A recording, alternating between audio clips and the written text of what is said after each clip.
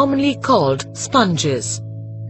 Although they are most common and diverse in the marine environment, around 150 species of sponges live in fresh water. Sponges have very simple structures and are either radially symmetrical or asymmetrical. Sponges are highly branched, cylindrical and hollow. A cavity called spongocele is enclosed by the body. Their body is supported by a skeleton made up of calcareous or siliceous spicules or spongin fibers. Sponges have a loose organization of cells which are specialized to perform different functions.